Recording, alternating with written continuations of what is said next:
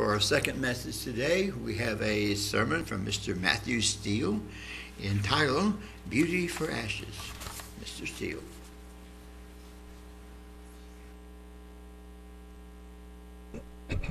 Thank you, Reg. I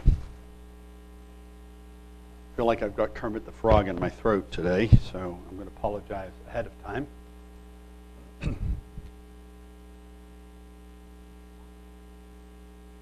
so, um, as many of you know, I've mentioned it probably more times than I should have, but I'm a really big fan of the Chosen TV show. Everybody know what I'm talking about? Oh, come on, I've talked about it so much. The Chosen TV show, so it's a multi series um, TV show about the life and ministry of Jesus. And um, it's certainly not reading the Bible, so, you know, that's the disclaimer that they, they put up, of course, uh, at, the, at the, the front of each season. But it is a, a really interesting uh, way in which to look at the stories of the Gospels and uh, just kind of get your mind thinking. And, and I suppose the biggest thing for me is to just kind of help me think about the humanity of Jesus and, and that he really was on this earth. He really was like you and I. And that he really did have struggles like you and I and was tempted like you and I. And it, it's, it's just an enjoyable way of uh, looking at some of the scriptures uh, on the big screen. Not to mention the fact that it means that we're also not watching the junk that the rest of the world puts out, right? So that's, that's a further benefit. It's becoming a kind of a running joke in, in our household that uh, the boys are waiting to see which one of Renee or I will get upset and start tearing up at a particular scene in one of the episodes. And they kind of uh, laugh at us because they're so very moving. Um, and they're, they're doing a really good, good job. I've enjoyed lots of scenes. My favorite scene thus far is the scene where Jesus is talking to Nicodemus, and I think I played that uh, here in, in a small segment. But there is one scene that I really want them to show. I'm hoping that they will. Um, and it is the scene that we find in Luke chapter 4 and verse 16. Because I think it will just be a powerful scene um, for, for them to present. It's a very familiar passage. I feel like I've actually uh, read from this passage here not, not too long ago, and I, I keep coming back to it because there's so much in it. There's so much promise and hope. Uh, there's so much of the gospel and the, the message that Jesus is trying to give to us. So it says, So he came to Nazareth, Jesus came to Nazareth, where he had been brought up. And as his custom was, he went into the synagogue on the Sabbath day and stood up to read. You just think about that. You just stop there and think, as his custom was. Now, was it saying that his custom was every time he went to synagogue, he would volunteer to read?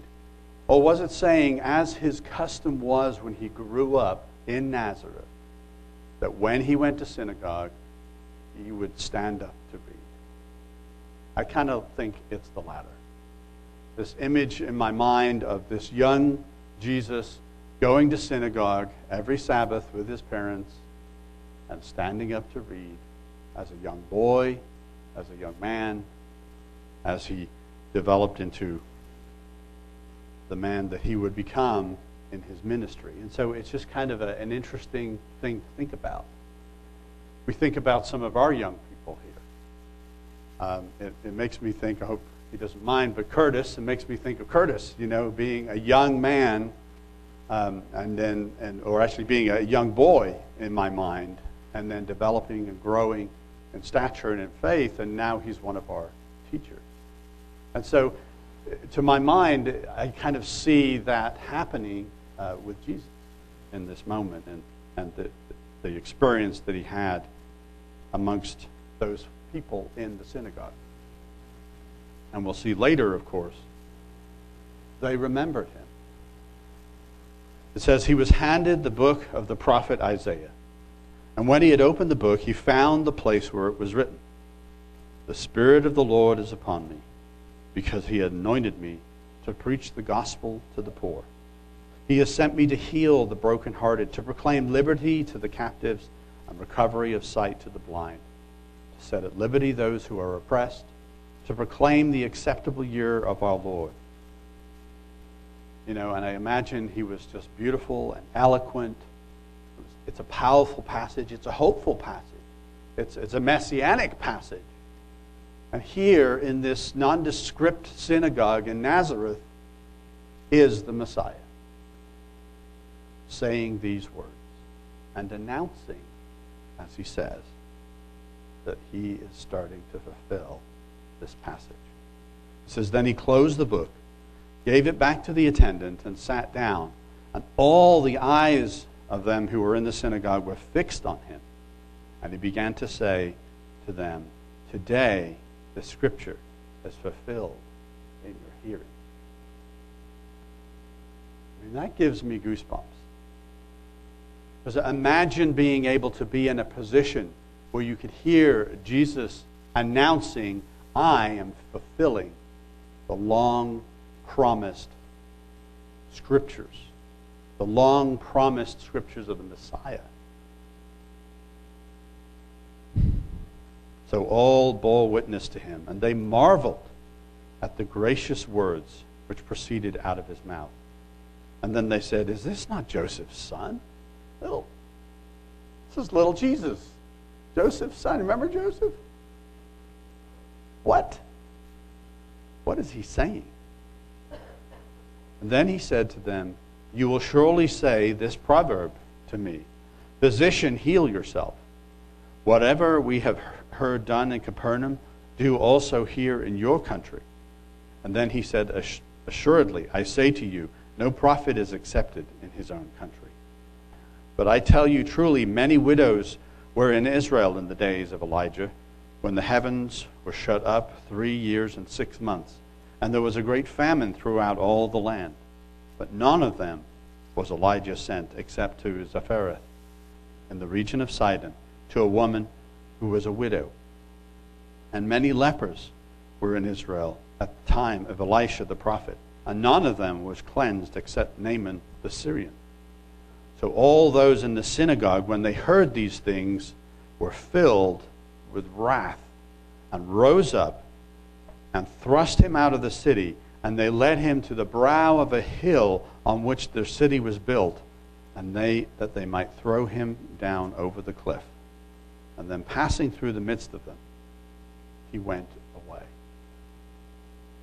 There's a lot in this passage, isn't there? There's a lot in this, this just very short interaction. One of the big things that comes out to me, though, is appropriate to what Ken talked about earlier. The absolute rage that came over these people to the point that they're going to take little Jesus and throw him over the cliff because they remembered him being a boy and growing up with them. And they are now so filled with rage, they want to throw him off the cliff. What? What is wrong with these people? But there are other things going on here as well. There's some symmetry going on. Because Jesus talks about the period of time in which Israel experienced the drought under Elijah. How many years was that? Three and a half years. How many years was the ministry of Jesus? Generally accepted about three and a half years.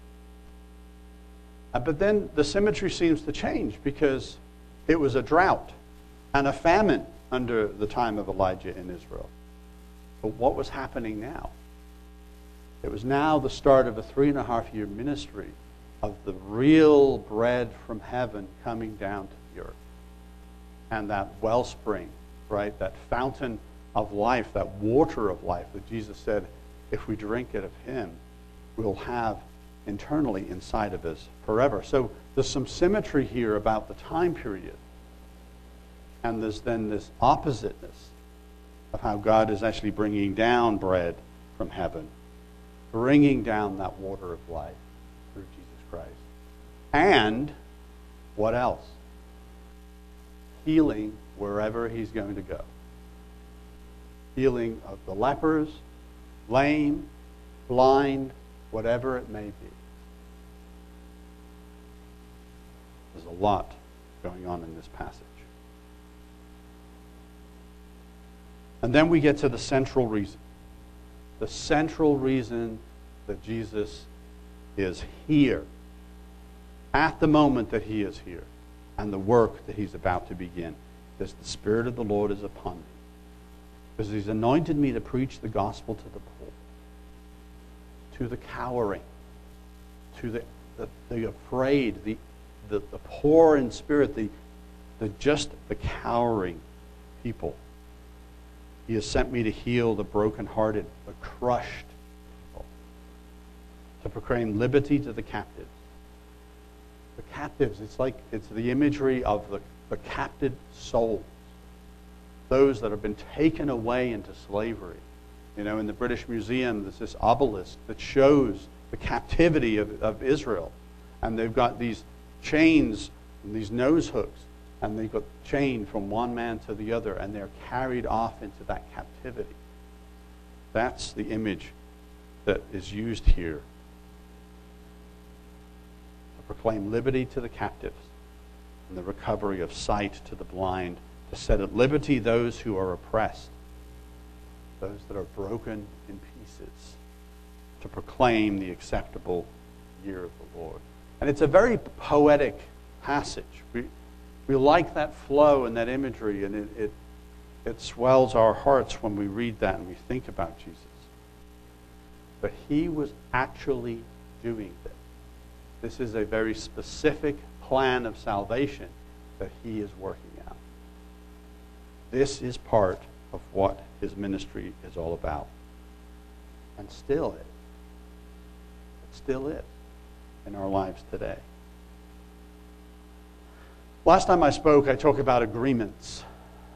And I, I, don't know if you guys remember, but these agreements that I talked about are the things that we agree to, the lies that we agree to, the brokenness that we agree to in our life. And these agreements, we have basically agreed with the liar, agreed with the father of lies, that maybe we are not sufficient, that we are shameful, that we are just uh, not good enough. Take your, your pick. I kind of want to springboard a little bit off of that because we can't just identify those agreements. We can't just look at those things that are broken in our life and then stop there. Right? We have to do something else. We have to replace that understanding. We have to replace that experience with something else. Otherwise, those lies, those broken agreements will sap our joy. They will take away our strength and our faith. And we'll find ourselves agreeing to them again. So today I wanted to focus on the other side of the equation.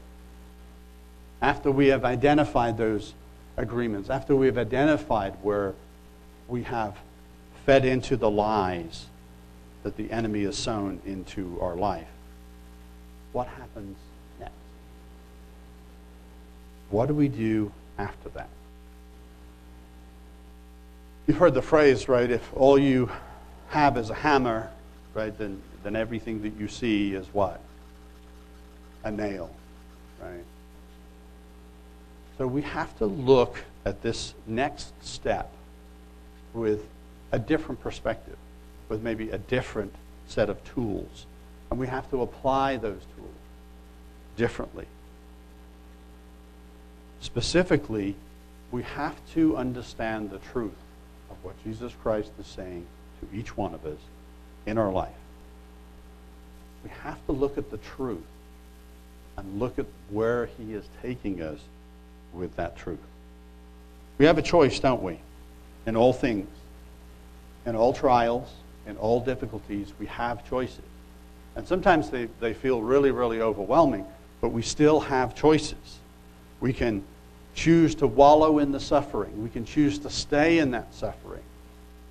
and use it as an excuse to continue in our behavior. Or we can lift our heads up and look at salvation, the salvation that Christ gives us, and look for specific things that we can do differently. We need to focus on healing the brokenness in our lives, but understand that there's good news. There is good news that we have been set free. If we're willing to let Jesus liberate us from the captivity of those lies. In Psalm 27, verses 12 and 13, King David says this He says, Do not deliver me to the will of my adversaries, for false witnesses have risen against me, and as such breathe out violence. I would have lost heart unless I had believed that I would see the goodness of the Lord in the land of the living. Wait on the Lord. Be of good courage, and he shall strengthen your heart. Wait, I say, on the Lord. Came across this passage the other day, and it, it's really powerful to me because when I, I see that, that one phrase, that I would see the goodness of the Lord in the land of the living. And I realized I had some hesitancy about it. I was reticent about it. Can I really believe that I will see the goodness of the Lord in my life in this time? In this period of life? In the land of the living? Can I trust in that? We know, don't we, that we have promises, precious promises. That in the new life to come, we have these eternal promises of, of a new body, of an eternal existence, being free from the, the sin and death that so easily ensnares us. And we, we look forward to that, and we, we look forward to the promises of the kingdom, and so on. We know that we have that out there. But can we also expect, can we believe that God will bring goodness to us now, in this life? Peter says in chapter, uh, in 2 Peter chapter 1, in verse 2, he says, Grace and peace be multiplied to you in the knowledge of God and of the Lord Jesus, and of Jesus our Lord. As his divine power has given to us all things that pertain to life and goodness through the knowledge of him who called us by glory and virtue, by which we have been given unto us exceedingly great and precious promises, that through these you may be partakers of the divine nature, having escaped the corruption that is in the world through lust. So we have this great promise out there, don't we, ahead of us but we're not fully of that divine nature yet, are we? So, are we going to experience the goodness of God in this life?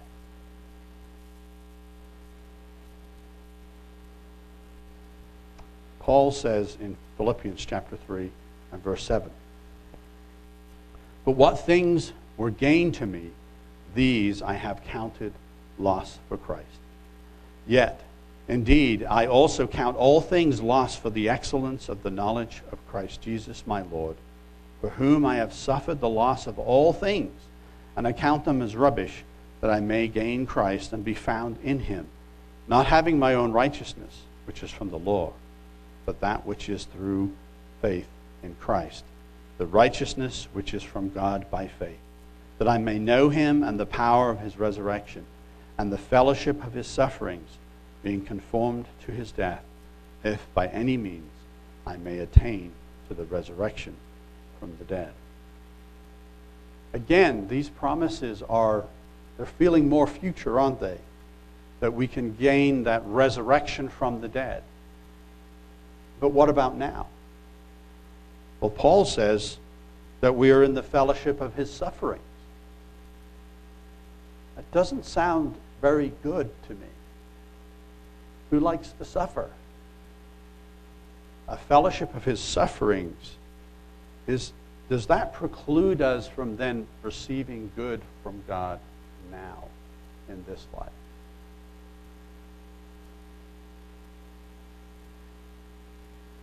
You know, we have sorrow, we have disappointment. We don't need a scripture to tell us that. We experience that. And there are certainly those uh, in what we could call loosely in the Christian community that believe that, well, if you are truly a believer, then you'll be blessed and you won't have those sufferings, right? The prosperity gospel and so on. We know for a fact that that's not true. We've experienced this truth. Can we live this life in Christ Jesus without experiencing suffering? What do you think? Well, the answer is yes, and the answer is no. Hedging my bets, right? True politician, I can't be wrong if I say it that way. It's inescapable that we suffer at, at different times. But if all we do is focus on the suffering, then what is that? It's a nail. And all we have is hammer. That's all we'll see. If, if we only ever focus on the suffering, that's all we'll see. If we focus on our weaknesses, all we'll see is lack of strength. If we focus on heartbreak, then we will remain broken. If we, but, it, it, but, but this goes against the healing, it doesn't it? This idea goes against the healing of what Jesus said that he has come to bring us. So, has he come to bring us partial healing? Is this a process? What is it?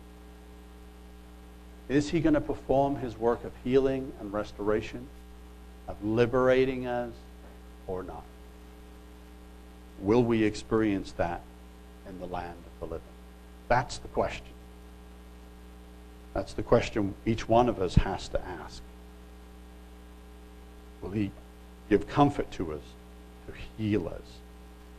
Will he liberate us from captivity of shame and guilt and loss and bitterness, whatever that may be?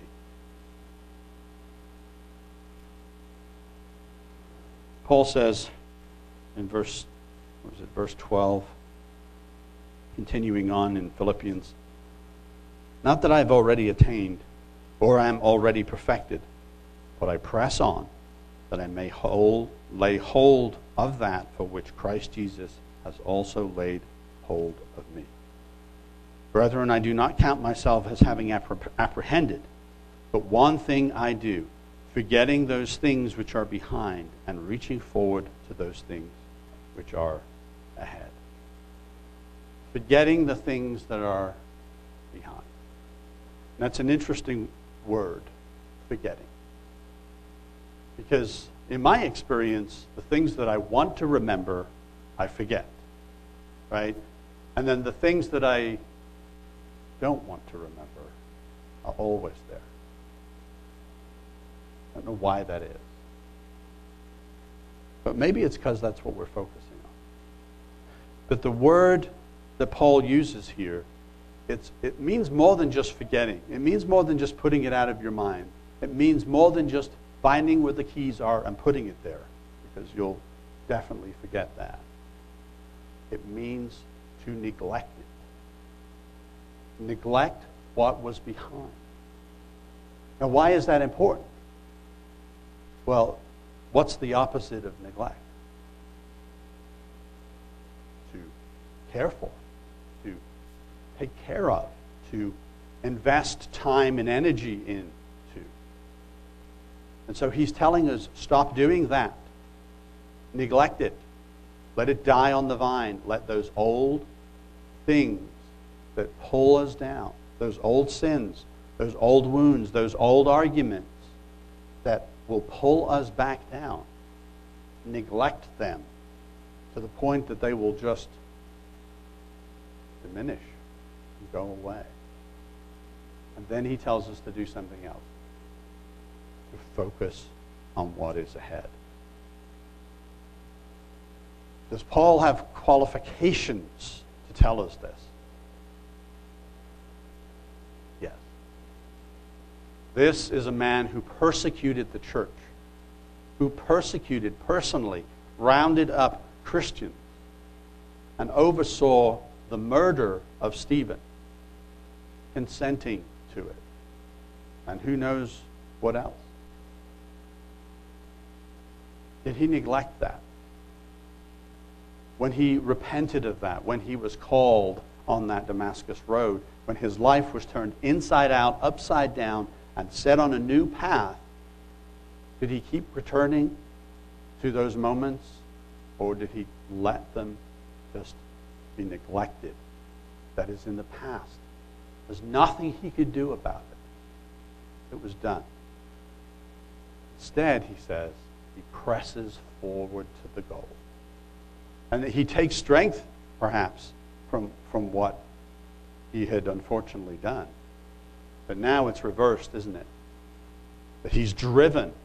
He says in another place, that I may be all things to all men so that I might save some in Christ Jesus. Letting go of the past, neglecting the past, and moving forward to the goal, to those promises. He says, I press toward the goal for the prize of the upward call of God in Christ Jesus. Therefore, let us, as many as are mature, having this mind, and if in anything you think otherwise, God will reveal even this to you. Nevertheless, to the degree that we have already attained, let us walk by the same rule, and let us be of the same mind. I find it really interesting here that he, he brings in this, this term mature. Because I think you've got to get to a certain maturity to understand what he is telling us to do. To leave behind those lies, those agreements. Leave behind that corruption and that old man and that old woman and walk newness of life, stretching for the goal. What Jesus read in Isaiah 61, as recorded in Luke, that is very much his ministry, if you wanted to put it in a nutshell. But there was more going on in that passage. The Spirit of the Lord was upon him, and it was going to do more than just healing, more than just freeing us from sin and shame. He actually goes beyond that. So if we turn back to Isaiah 61 itself and read the passage in its entirety, there's a bigger, more expansive plan at work for each one of us. It says, The Spirit of the Lord is upon me, because the Lord has anointed me to preach good tidings to the poor. He has sent me to heal the brokenhearted, to proclaim liberty to the captives, and the opening of the prison to those who are bound, to proclaim the acceptable year of the Lord and the day of vengeance of our God, to comfort all who mourn, to console those who mourn in Zion, to give them beauty for ashes, the oil of joy for mourning, the garment of praise for the spirit of heaviness, that they may be called trees of righteousness, the planting of the Lord, that he may be glorified. It isn't enough for him to just bring about healing. It isn't enough to just set us free. We have to exchange the past. We have to exchange the past, the guilt, the bitterness, the brokenness, the captivity, whatever that is for each one of us. We have to allow Him to exchange it for something. Those agreements and lies have to be exchanged for something he says that he's going to give us beauty or ashes. And what does that refer to? Well, what were ashes used for? They were used in mourning, weren't they? When the disaster would strike, when you lose a loved one, or whatever that situation was, or you were broken apart through because of sin or something terrible that had happened in your life, you'd rend your clothes and pour ashes upon your head. The mourning, it was an act of mourning, and everyone around you knew you were in a dark place. Right? That you were struggling. And I sometimes wonder if it would be useful for us to have something like that today. You know? because we put on a facade that says, How are you? Oh, I'm doing fine. But five minutes ago, we just got terrible news, and we're not doing fine. And we don't have maybe a mechanism in our culture to just share, I might be a little off today, so don't be angry with me. I'm going through struggles. Give me some grace. But that's essentially what's going on here. Wearing sackcloth and ashes this mourning. But then Jesus wants to replace that. He wants to exchange that. So we'll stop mourning. There has to come a point, doesn't there, where we will stop the mourning process. And we think about it in terms for a loved one. Does that mean that we love that, that loved one any less when they have passed? No. But can we constantly live the rest of our life in mourning? Jesus wants to take that.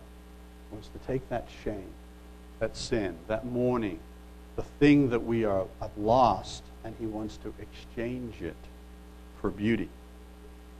And the word beauty here is interesting because they would take the ashes and pour it on their head. The word beauty here means to anoint the head with a garland, to something that beautifies the person. Maybe even a crown.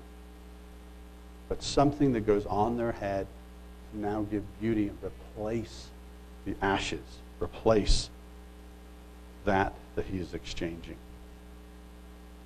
Exchanging our ashes for breathtaking beauty. That's what he wants to do. and to anoint our heads with oil, which means with fatness, with plenty, with a beautiful smelling aroma, just an intoxicating aroma of joy and, and gladness. It's amazing, isn't it, how odors can sum up feelings in us and, and, and tastes too. Whenever I smell like raspberries, I was probably say it all the time to my wife. We're in Costco and we're getting some raspberries. It, it, I am back as a boy in, in England, the side of the roads in the, the farming areas, picking raspberries off the bushes with my mom and my brother and sister. Just immediately transports me. One for the bag, one for me, one for the bag. A lot of time spent in the bathroom later that night. but that sweet fragrance, right, exchanged for what? Bitterness and stink, stench, and the things that are dark, that are in our life, and that we're still trying to hold on to. Let Him exchange that, that for beauty. Does our heart long for beauty? Does it, does it desire beauty and joy? It's available to us. Jesus has come to give us that in the land of the living. The goodness of God in the land of the living, in this time now. And Isaiah continues, and it almost, uh, you know, it, it definitely becomes prophetic. There's, there's more to come. But I want you to look at it still as though it's talking about us as a person and not just necessarily as Israel as a, as a nation. Because Remember, God also looks at Israel as a person. He says, Israel, my firstborn. And we are his children. So in verse 4, he says, And they shall rebuild the old ruins and raise up former desolations. They shall repair the ruined cities, the desolations of many generations. Are there parts of our life that are desolate? We can rebuild them working in us, He can rebuild those parts of our life that are broken. Rebuild those desolations. Strangers shall stand and feed your flocks. I don't have any flocks, but if strangers want to bring me some flocks, that would be good. And the sons of the foreigner shall be your plowmen and your vine dressers, but you shall be named the priests of the Lord. What is those promises? You shall be kings and priests in that eternal kingdom of God. They shall call you the servants of our God. You shall eat the riches of the nations, and in their glory you shall boast. Instead of your shame, you shall have double honor, and instead of confusion, they shall rejoice in their portion. Therefore, in their land they shall possess double. Everlasting joy shall be theirs. For I, the Lord, love justice. I hate robbery for burnt offering. I will direct their work in truth, and I will make them an everlasting covenant. Do we have that everlasting covenant now? That's, that's the new covenant, isn't it? It's an everlasting covenant. And so these promises are for us also. Their descendants shall be known among the Gentiles, their offspring among the people. All who see them shall acknowledge them, that they are the prosperity whom the Lord has blessed. I will greatly rejoice in the Lord. My soul shall be joyful in my God, for he has clothed me with garments of salvation. He has covered me with the robe of righteousness. As a bridegroom decks himself with ornaments, and as a bride adorns herself with jewels. For as the earth brings forth its bud, and the garden causes the things that are sown in it to bring forth, so the Lord God will cause righteousness and praise to spring forth before all nations. And who is that, if not the saint? Who is that, is not us, springing forth in righteousness, resurrected, redeemed, and singing what? Praises, singing the new song to God. This is the work in its fullest extent. This is what Jesus was called to do. It is what he is doing in our lives now and what he will bring about in the future. We will have joy. We will have salvation. And it's interesting. In this passage here, it says, Where am I? Yeah, in verse 10, I will greatly rejoice in the Lord. My soul shall be joyful in my God, for he has clothed me with the garments of salvation and has covered me with the robe of righteousness. The war will be over. When we get to that point, the war is over. And the reason that we know the war is over is because of what we read in Ephesians chapter 6 verse 14 through 17. Remember, we just, we just did this in the Bible study. It's the armor of God, right? But in the midst of this armor here, it says, Stand therefore, having, gir- having girded your waist with truth, and having put on the breastplate of righteousness. Right now, we need a breastplate of righteousness. We need a tough, protective shield on our, on our body, on our most sensitive organs, so that we can stay alive in the battle. But when we reach the end of Isaiah 61, it's not a breastplate anymore, it's a robe. It's a robe of righteousness. We won't have to have the armor anymore.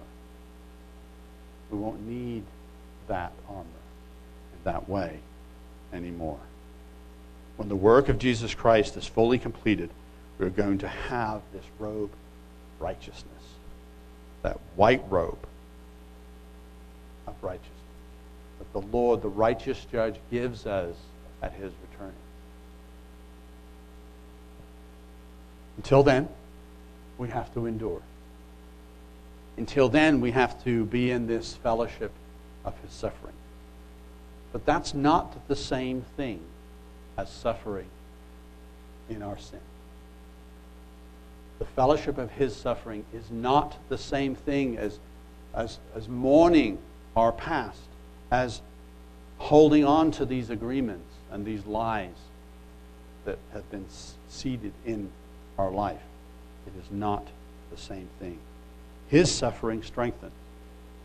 His suffering brings endurance, mental strength, and it will not permit us to be moved or shaken around anymore. In 2 Corinthians 4, verse 7, Paul says, But we have this treasure in earthen vessels, that the excellence of the power may be of God and not of us. We are hard pressed on every side, yet not crushed. We're not that broken down person anymore. Let Jesus perform that work in us, and we are not crushed. We are perplexed. and we're a little confused sometimes at how a pastor in, a, in, in England, a, a so called Christian country, can be arrested for reading the Bible. How did we get to that place? We can be perplexed, but not in despair. Persecuted, but not forsaken. Struck down, but not destroyed. They can strike us down, but they cannot destroy us. Always carrying about in the body the dying of the Lord Jesus, that the life of Jesus may be manifest in our body. For we who live are always delivered to death for Jesus' sake, that the life of Jesus may be manifest in our mortal flesh. So then, death is working in us, but life in you. We let Jesus do his work. We let him exchange our ashes for the beauty that he will give us, for the, for the oil of joy and the garment of praise, for the weight of that past and the weight of the sin and the brokenness. His life will be manifested in us, just as Paul said. Let him do those things. He will be manifest in us, in the land of the living. Not after we have died and resurrected, but in this life as well. We can have that. To close, I'd like to read Psalm 27 in its entirety because these are part of the promises that we can hold on to in life. These are the great promises of the goodness of God, not just in the future, but in this life, in this time that we have. He says in verse 1 The Lord is my light and my salvation. Whom shall I fear? The Lord is the strength of my life. Whom shall I be afraid? When the wicked came against me to eat up my flesh, my enemies and foes, they stumbled and fell. Though an army may encamp against me, my heart shall not fear.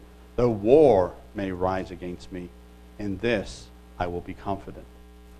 One thing I have desired of the Lord, that I will seek, that I may dwell in the house of the Lord all the days of my life, to behold the beauty of the Lord, and to inquire in his temple. For in the time of trouble he shall hide me in his pavilion. In the secret place of his tabernacle he shall hide me. He shall set me high upon a rock, and now my head shall be lifted up above my enemies around me. Therefore I will offer sacrifices of joy in his tabernacle. I will sing, yes, I will sing praises to the Lord. Hear, hear, O Lord, when I cry with my voice. Have mercy also upon me and answer me. When you said, Seek my face, my heart said to you, Your face, Lord, I will seek. Do not hide your face from me. Do not turn your servant away in anger. You have been my help. Do not leave me or forsake me. O God of my salvation, when my father and mother forsake me, then the Lord will take care of me. Teach me your way, O Lord, and lead me in a smooth path because of my enemies. Do not deliver me to the will of my adversary. adversary. For false witness have risen against me, and such as breathe out violence. I would have lost heart and unless I had believed that I would see the goodness of the Lord in the land of the living. Wait on the Lord. Be of good courage, and he shall strengthen your heart. Wait, I say, on the Lord.